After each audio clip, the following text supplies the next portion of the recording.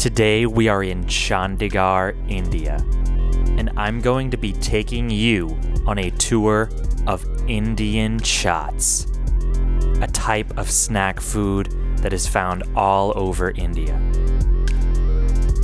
Stay tuned for the entire episode so you don't miss me trying Golgappa or Pani Puri for the very first time. It is time to chat about chaats. And don't mind if I get a bit shoddy. So I'm here with my friend Namrata, and we are going to be exploring the world of Indian chaats.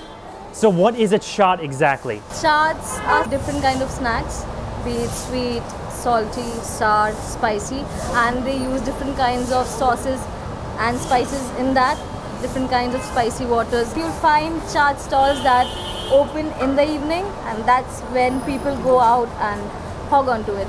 So you're a local college student here in Chandigarh, so you've got to know where are the best places for cheap munchies. Am I right about that? Of course. All right, it's time for a chaat party. Let's go.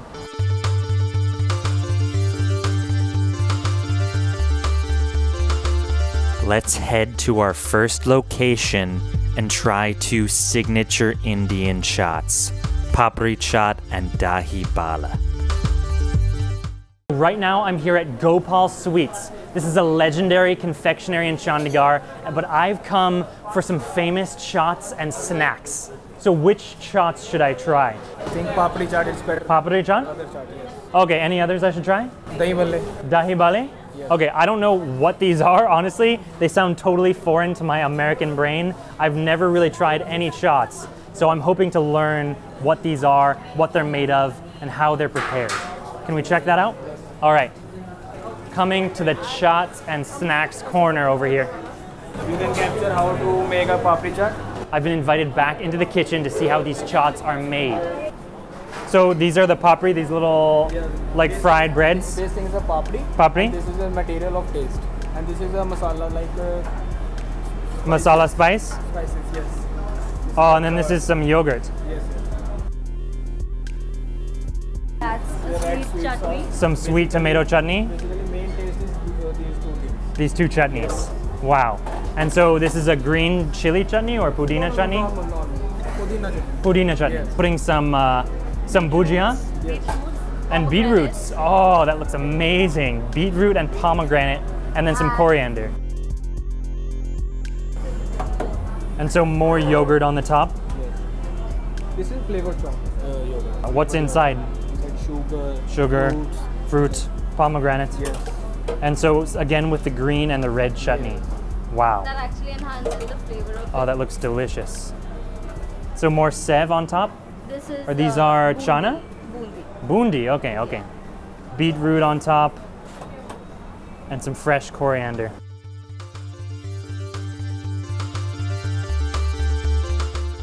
So here we've got two beautiful chaats to dig into. These are my first chaats ever in India. They're just covered in all kinds of different flavors and colors, like a flavor explosion. So there's so much going on here. What kind of flavor should I expect from this? You wouldn't know about it because you have to expect different flavors in a bite. You might have a hint of yogurt in the first one, and then in the next second, you might have a bit of spicy taste. So all kinds of different textures and flavors, all in one single bite. You could call it a flavor explosion. You can say that. All right, let's dig into this. Let's get that soaked in chutney and yogurt. Let's get some fruit in the same bite. Cheers to this shot. Nice. Wow. You were totally right about that. I got flavors in a sweet fruit, crunchy pomegranate, super spicy chutney, and the yogurt. and then the yogurt, the acidity and the sourness of the yogurt.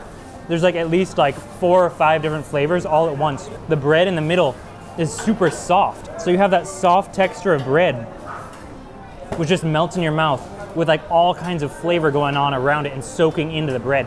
So what is this bread actually made of? It's uh, made of moong dal. Moong dal. Yeah, they would create a mixture. Basically, they would grind it. That is and incredible. They would fry it, and then they would soak it Yeah, yeah, it's super bit soft. It's Yeah, it's like mushy and soft. As well as crunchy. I thought it was a bread like made of wheat or, or all-purpose flour, but that is a lentil bread, so that makes it actually pretty healthy. There is a party going on in my mouth right now with all kinds of textures, flavors.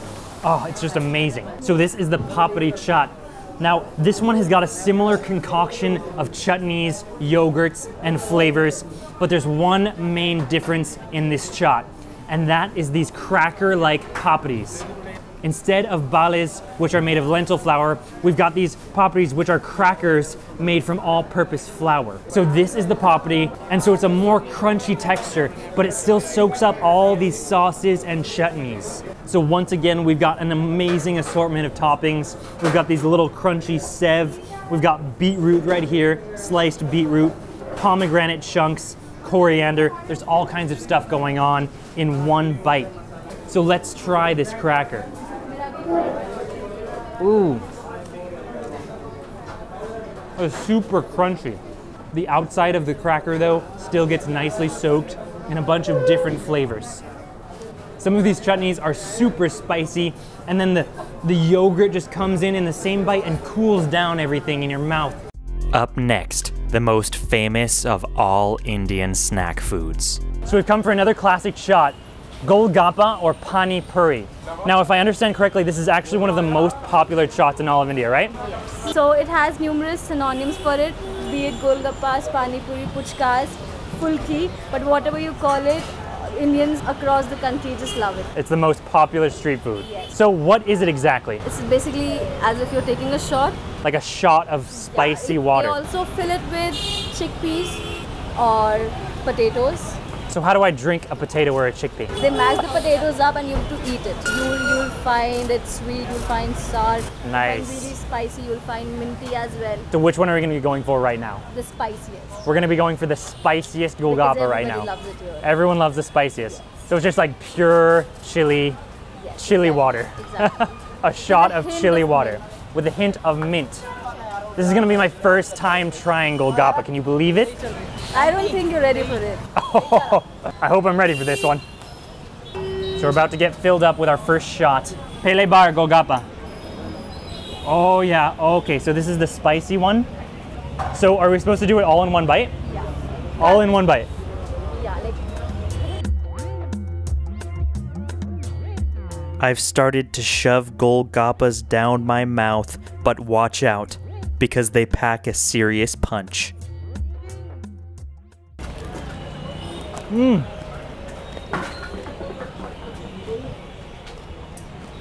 Oh my god. It just exploded in my mouth. Like so much liquid at once. Oh my god. Oh, another one. Another shot. it's like just knocking back shots at the bar, at the Golgappa bar. I continue to knock back Golgappas one after the other. Down the hatch. Mmm. I'm choking on the spice. Oh my god. I don't know if I can take another. Oh, none. this is crazy. I've never had a food experience like this. It's just nuts. Oh. I asked oh. him Oh, to give you bit without the water. without the water. Yeah. All right, well, I can put a bit of the water in. Get soaked in that juice. Mm.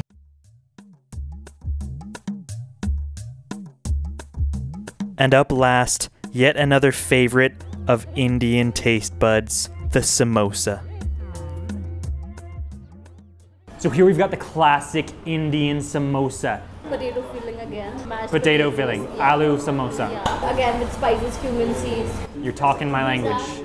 And deep fried. Uh, they, they make a triangle basically and then they deep fry it and they call it samosa. So it's like a, Yeah. a filled potato dumpling fried in oil. Yeah, you could. All right. That. And it's served up with two chutneys, some green chutney here, and some red chutney. Let's drip that green chutney all over this samosa. Look at that. Now that this samosa is covered in different chutneys, let's take a bite of this thing. Ooh. That has got a nice yellow potato mixture up in there. Seems like we've got some turmeric, some different spices. Oh, look at those coriander seeds mixing in with the potato mixture. That looks delicious. Those roasted coriander seeds. What a delicious snack and only for 10 rupees. What a deal. There's a matar in there. It's a green pea mixed in with the potatoes and seeds. Crispy fried shell in this awesome potato mixture. I'm all about it. Now this snack is much more simple. It's less of a fusion of all kinds of flavors, and it's more like just a classic fried potato dumpling. I hope you enjoyed this tour of Indian chaats and snacks. Subscribe to Source and Flow, hit the notification button, and stay tuned for more epic street food content from around the globe.